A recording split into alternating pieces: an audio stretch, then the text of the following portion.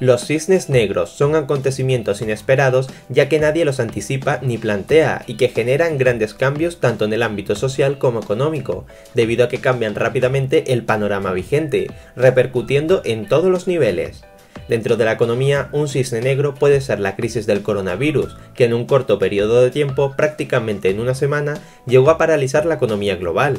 Una vez el cisne negro desaparece, da lugar a una situación de prevención, lo que ayuda a anticipar todos los factores que hay que tomar en cuenta y pasos que seguir en el ámbito económico para futuras pandemias globales.